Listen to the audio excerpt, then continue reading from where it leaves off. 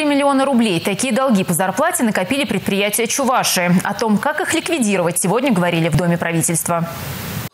Есть задержки, отвечай. На ковре строители, перевозчики, сотрудники оптовой торговли. Именно организации этих отраслей сегодня терпят крах из-за долгов по зарплате. По состоянию на 20 сентября 2019 года Э, реестр организаций, имеющих задолженность по заработной плате, включая организации, в отношении которых осуществляется процедура банкротства, задолженность по заработной плате в 27 организациях Чувашской Республики составила 103,39 миллиона рублей перед 2154 работниками. За 8 месяцев 2019 года в Государственную инспекцию труда в Чувашской Республике поступило 632 обращения граждан по вопросам задолженности по заработной плате, что, что составляет более 42% от общего количества поступивших обращений.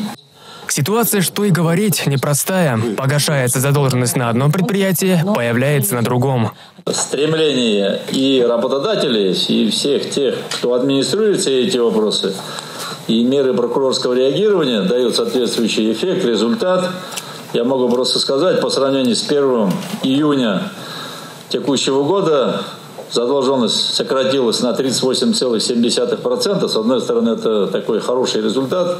Работники, те, которые месяцами, годами зарплату не получали, смогли получить. Есть стремление у каждого из нас – но в то же время долги все равно есть, работники возмущаются.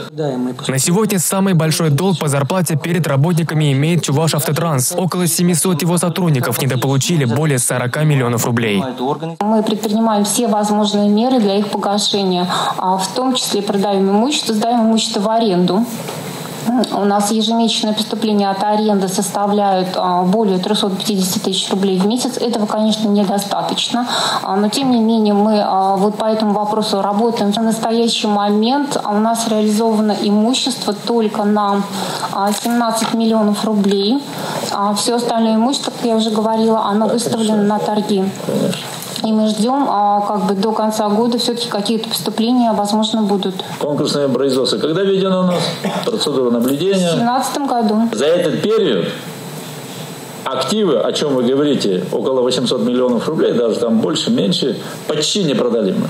И закон, норма законодательства, по закону и по совести надо всегда поступать. И сегодня работать на результат. Но, увы, к сожалению, мы этого не видим. Хотя активов там достаточно от продажи, даже если с э, учетом заниженной цены будут продаваться, хватает покрыть и зарплату, и налоги, и все другие отчисления. А На заседании обсудили и проблемы неформальной занятости. Под пристальным вниманием организации общественного питания и малое предпринимательство, в частности торговля и сдача жилья в аренду. В этих сферах чаще всего трудятся без договоров. С начала года в Чувашии из тени на свет вывели более 9 тысяч человек. Работа в этом направлении должна продолжиться. Рифат Фаткулин, Андрей Спиридонов, Республика.